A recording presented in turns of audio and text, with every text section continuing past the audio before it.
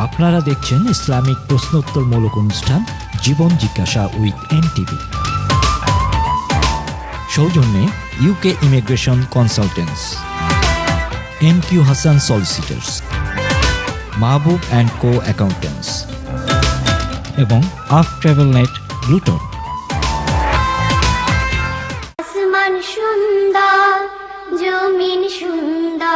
সুন্দর, সুন্দরী পাল্লা। জানি না কত সুন্দর তুমি আল্লাহ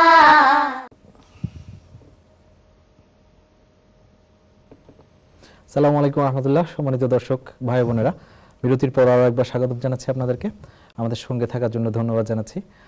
যথারীতি আমরা প্রশ্নোত্তর পর্বের দিকে যাব, তবে বিরতির আগেই আমরা বেশ কিছু প্রশ্ন পেয়েছিলাম। আমি শায়েককে অনুরোধ করব সেই প্রশ্নগুলোর দিকে যেতে। আমরা ধারাবাহিক আলোচনায় ছিলাম। শায়েক, যদি ধন্যবাদ। আমরা বিরতিতে থাকা অবস্থায় একজন বোন ফোন করে কয়েকটি প্রশ্ন রেখেছেন। আমরা প্রথমে সেগুলোর উত্তর দেওয়ার চেষ্টা করছি। তিনি জানতে চেয়েছেন যে আত্মীয়তার সম্পর্ক ইসলামে অত্যন্ত গুরুত্বপূর্ণ। কিন্তু কিছু আত্মীয় এমন আছেন, তাদের সাথে সম্পর্ক রাখতে গেলে তারা নানা রকম সমস্যা সৃষ্টি করে, এমনকি অত্যাচার করে। এই ধরনের আত্মীয়তার ব্যাপারে ইসলামের বিধান কি? উত্তর হলো এই যে আত্মীয়তা রক্ষা করতে গেলে কিছু ঝামেলা থাকবেই এবং আল্লাহ নবীও সেটা জানতেন। আল্লাহর পক্ষ থেকে সেটা জানা আছে। কিন্তু আল্লাহ তালা পরীক্ষা করেন। আত্মীয়র নানা সমস্যা করার চেষ্টা করার ভিতর দিয়েও আমাদেরকে কৌশলে সেগুলো থেকে নিজেদেরকে রক্ষাও করতে হবে আত্মীয়তা বজায় রাখতে হবে। কোনোভাবেই যারা রক্তের সম্পর্কে যেমন ভাই, বোন এই জাতীয় যারা আত্মীয় আছেন, তাদের সাথে কোনোভাবেই সম্পর্ক ছেদ করা যাবে না। সম্পর্ক ছেদ করা খুবই অন্যায়। তবে কৌশলে তাদের অপকর্মগুলো থেকে বা তারা যদি কোনো অত্যাচার করতে চান, সেটা থেকে বাঁচার চেষ্টা করতে হবে, তাদেরকে বোঝানোর চেষ্টা করতে হবে এবং আল্লাহর কাছে দোয়া করতে হবে। কিন্তু তাদের সাথে সাক্ষাৎ করা, কথা বলা, তাদেরকে খাবার দেয়া, তাদেরকে দাওয়াত দেয়া অথবা তাদের সাথে সুন্দর ব্যবহার করার যে দায়িত্বগুলো আছে, সেগুলো কোনোভাবেই বন্ধ করা যাবে না। এবং আল্লাহ নবী বলেছেন, কেউ যদি তার আত্মীয়ের সাথে সম্পর্ক বজায় রাখার চেষ্টা করে, কিন্তু অপর পক্ষ থেকে কোনো রেসপন্স না থাকে, ভালো ব্যবহার না থাকে, তখন আল্লাহ তালা ফেরেস্তা নিয়োগ করেন এই ব্যক্তিকে সহযোগিতা করার জন্য। কাজে আপনি আন্তরিকভাবে যদি চান যে আমার আত্মীয়ের সাথে আত্মীয়তা বজায় রাখব, দুনিয়ার কিছু ক্ষতি আমার করুক, তারপরেও আমি আল্লাহর হুকুমের মর্যাদা রাখব। অত কাত্তে আর হ্যাঁ আল্লাহ বলেছেন যে আল্লাহ শক্ত করে তোমাদেরকে ধরবেন যদি তোমরা আর হাম আত্মীয়তাকে কেটে দাও। এবং সুরানিসার প্রথম আয়াতে আল্লাহ তালা আত্মীয়তার কথা বলেছেন। আল্লাহ নবী বারবার বলেছেন, এবং মুসলিম শরীফের বিশুদ্ধ হাদিস আমরা দেখি লায়াত হুলুল জান্নাতা লায়াত হুলুল জান্নাতা কতিউন। যে ব্যক্তি সম্পর্ক কেটে ফেলে, আত্মীয়তা নষ্ট করে সে ব্যক্তি জান্নাতে যাবে না। এই জন্য বিষয়গুলোকে খেয়াল রাখতে হবে, সুচিন্তিত পদক্ষেপ নিতে হবে। দুটোই আপনার সাপ মারতে হবে, কিন্তু লাঠি যেন ভেঙে না যায়। একইভাবে আত্মীয়তা বজায়ও রাখতে হবে, কিন্তু ক্ষতি থেকেও বাঁচতে হবে।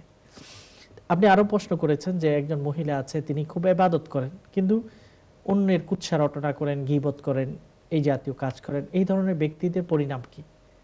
আসলে ইবাদত করা এটা ভালো, তবে এই জাতীয় যে গুণাগুলো করা হচ্ছে, আপনি যে ইবাদতের মাধ্যমে ইনকাম হচ্ছে, সেগুলোকে আপনি নষ্ট করছেন। এবং আমরা সবাই জানি সুরা হজরত আল্লাহ তালা স্পেশালি বলেছেন, ওয়ালা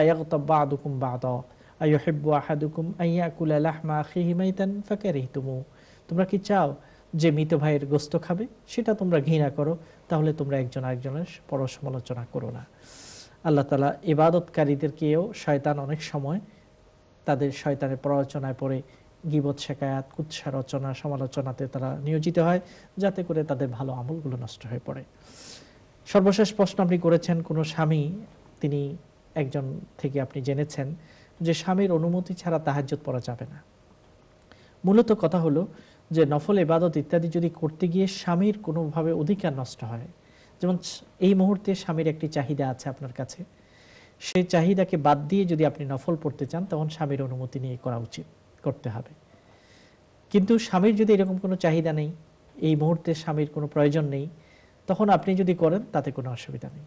তাহাজ্জত পড়াও, বরং আল্লাহ নবী বলেছেন, ওই ঘরটা কতই না সুন্দর এবং চমৎকার। যেই ঘরে পুরুষ যদি আগে উঠে যায় ঘুম থেকে তাহাজ্জত পড়ার জন্য, তখন তার স্ত্রীকে ডেকে দেয়। স্ত্রী যদি উঠতে না চায়, পানি ছিটিয়ে দেয়, যাতে করে উঠে যায় এবং দুজনে আল্লাহর দরবারে দাঁড়িয়ে তাহাজ্জত পড়ে। অথবা স্ত্রী যদি আগে উঠে, তখন সে নিজে তার স্বামীকে ডাকে, ডেকে দেয় তাহাজ্জুদ পড়ার জন্য। স্বামী যদি উঠতে না চান, তখন স্ত্রী তার মুখে পানি ছিটিয়ে দেয়, যাতে করে সে উঠে যায়। এবং দুজনেই আল্লাহর ইবাদত করে। সেই রকম পরিবারকে আল্লাহ কতই না রহম করেন এবং আল্লাহর রহমত সেই পরিবারে বর্ষিত হয়। তাহলে পারস্পরিক সহযোগিতা এটা প্রয়োজন। আমরা দেখি স্বামী এবং স্ত্রীর সহযোগিতার মাধ্যমেই কিন্তু আল্লাহর রহমতকে আমরা আকর্ষণ করতে পারি। এই জন্য স্বামীর অনুমতিও দরকার, আবার স্বামীর উচিত যে তার স্ত্রীকে তাহাজ্জুদ পড়তে, ভালো কাজ করতে উৎসাহিত করা। আশা করি আপনার প্রশ্নগুলোর উত্তর পেয়েছেন। ধন্যবাদ। জি, অনেক ধন্যবাদ। শেখ আমরা দর্শকের ফোনের অপেক্ষায় ছিলাম আমরা মনে হয় পেয়ে গেছি। জি দর্শক কে লাইনে আছেন? আসসালামু আলাইকুম রহমতুল্লাহ। আসসালামু আলাইকুম রহমতুল্লাহ।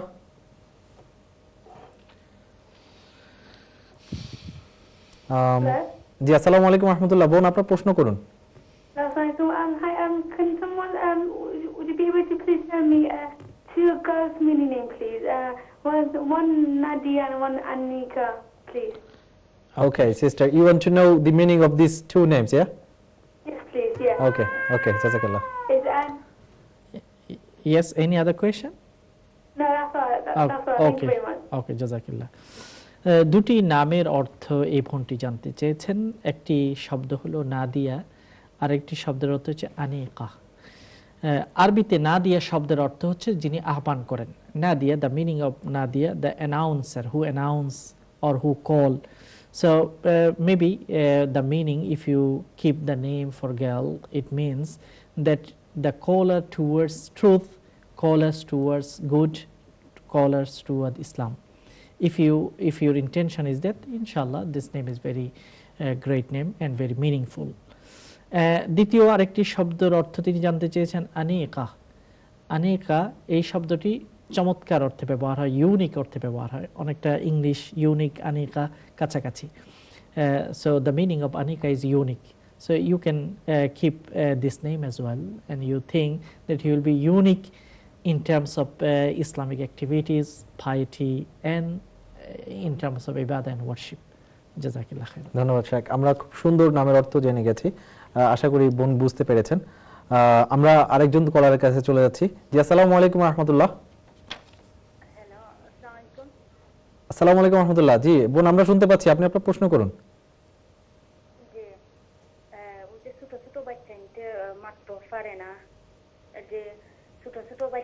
জি আপনি একটু জোরে বলবেন কি? আমরা শুনতে পাচ্ছি না ভালো করে আপনাকে। ছোট ছোট বাচ্চাইতে যে মারতে প্রবলেম হয়। জি। ছোট ছোট বাচ্চাইতে যে মারতে প্রবলেম হয় তার লাগি কোনো দোয়া আছে আচ্ছা আর বুঝছেন জি জি জি আমরা বুঝতে পেরেছি। জাজাকাল্লাহ। জি শেখ এই ফোনটি জানতে চেয়েছেন, বাচ্চারা অনেক সময় কথা শুরু করতে একটু দেরি করে অথবা অস্পষ্টতা থাকে, এরকম বাচ্চাদের থাকে। এটা প্রথমত এটা অনেক বাচ্চার ক্ষেত্রে এটা স্বাভাবিক। চাইল্ড স্পেশালিস্ট যারা আছেন অথবা ডাক্তার যারা আছেন, তাদের সাথে আপনি পরামর্শ করবেন। তারা নিশ্চয়ই আপনাকে এই অভয় দেবে যে এটা স্বাভাবিক। অনেক বাচ্চা কথা বলতে একটু দেরিতে কথা বলে অথবা কথা একটু স্পষ্ট হতে সময় লাগে।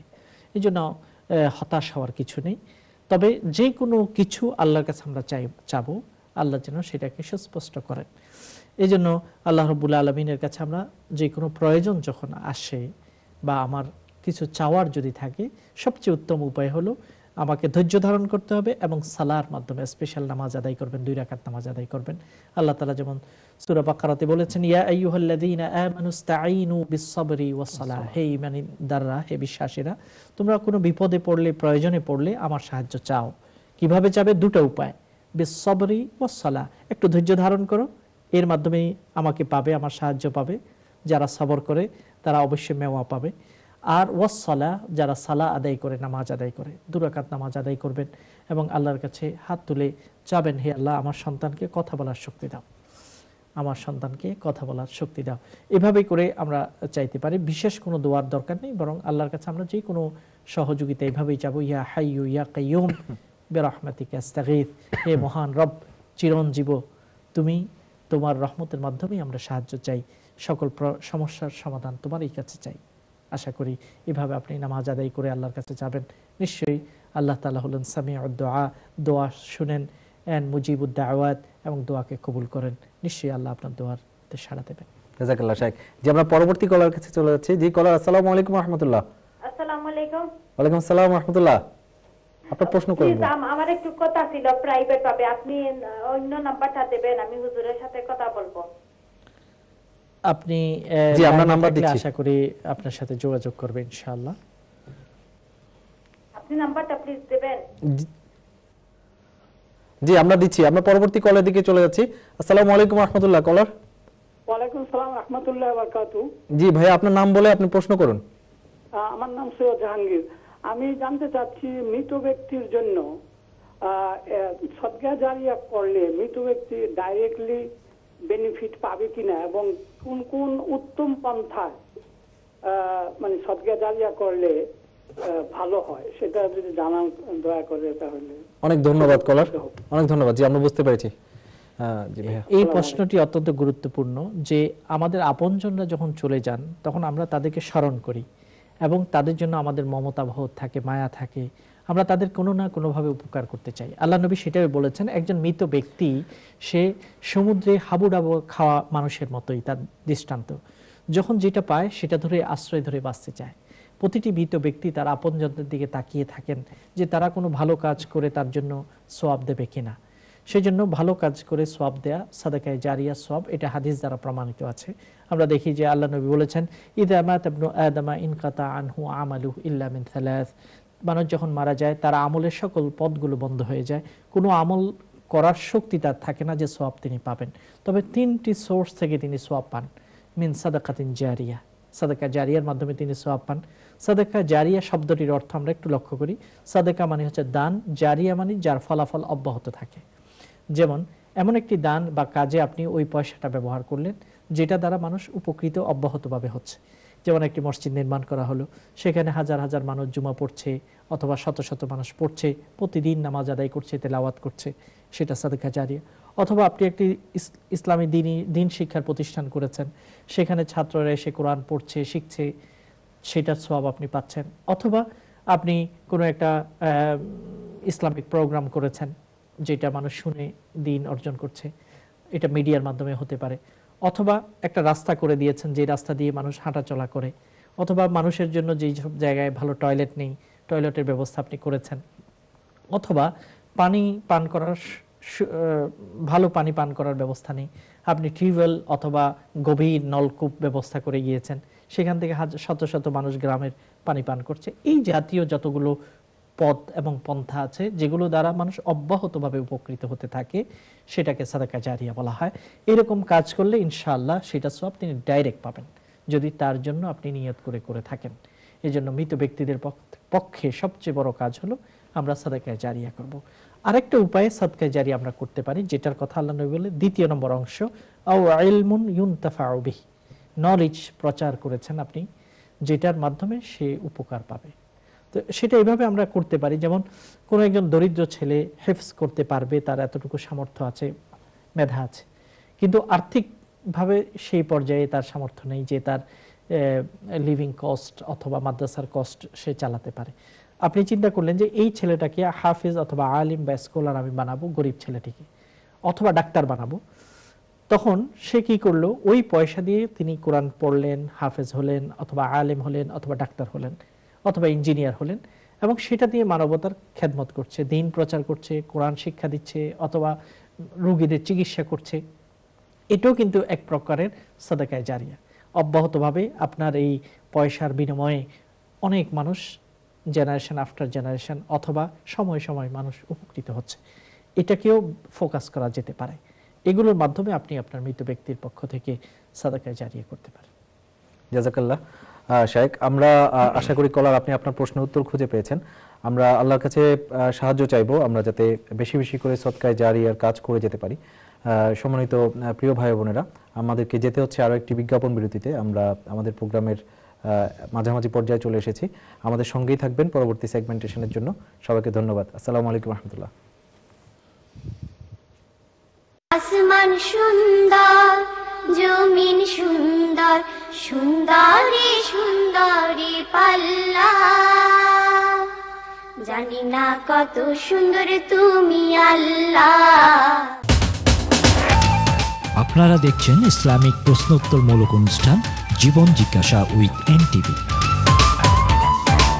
সৌজন্যে UK immigration consultants M Q Hasan solicitors Mahbub and co accountants এবং আফ ট্রাভেল নেট ব্লুটন